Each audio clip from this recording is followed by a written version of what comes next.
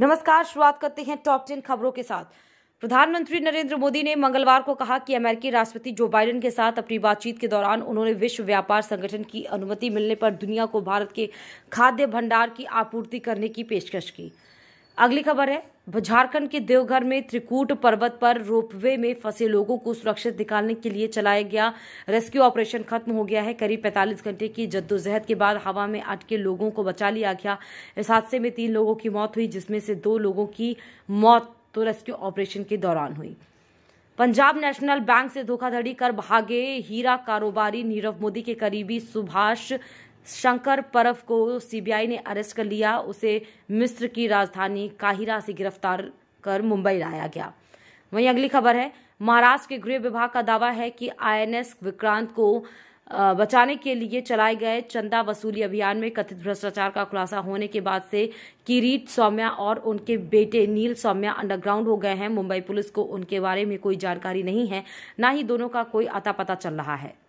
अगली खबर है उड़ीसा में खनन शहर जोड़ा में रामनवमी के जुलूस को लेकर बहुसंख्यक और अल्पसंख्यक समुदाय के बीच झड़पों के बाद अफवाहों के प्रसार को रोकने के लिए क्यूझर यानी जिसे मंग, मंगलवार को इंटरनेट सेवाओं को निलंबित कर दिया गया है।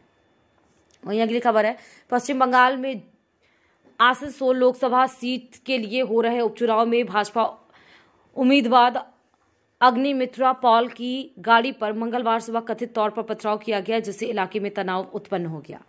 अगली खबर, पश्चिम बंगाल के नदिया ज़िले के हंस खाली इलाके में एक नाबालिग लड़की से कथित बलात्कार के मामले में मंगलवार तड़के दूसरे संदिग्ध को भी गिरफ़्तार कर लिया गया। पुलिस के एक वरिष्ठ अधिकारी ने यह जानकारी दी।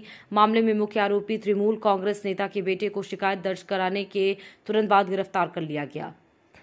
वहीं अगली खबर है श्रीलंका में जारी आर्थिक संकट और गहरा गया है। मंगलवार को देश के वित्त मंत्रालय ने विदेशी कर चुकाने में असमर्थता प्रकट करते हुए डिफॉल्टर बनने की घोषणा कर दी। श्रीलंका के वित्त मंत्रालय ने कहा कि वह दूसरे देशों की सरकारों समेत अन्य सभी कर्जदाताओं का कर चुकाने की स्थिति में नहीं है। वहीं अगली खबर है, वैश्विक बाजारों की नरमी के बीच घरेलू शेयर बाज़ार में मंगलवार को भी गिरावट का दौर बरकरार है। बाज़ार में यह गिरावट ऐसे समय आ रही जब मार्च तिमाही का रिज़ल्ट सीज़न शुरू हो रहा है। और वहीं अगली खबर है, सनराइजर्स हैदराबाद की गुजरात टाइटंस के खिलाफ आठ विकेट से जीत के बाद टीम को बड़ा झटका लगा। हैदराबाद के मुख्य कोच टीम मूडी ने बताया कि हाथ में चोट के कारण allrounder Washington Sundar Sunrisers Hyderabad के कम से कम अगले दो आईपीएल मुकाबलों से बाहर रह सकते हैं। धन्यवाद।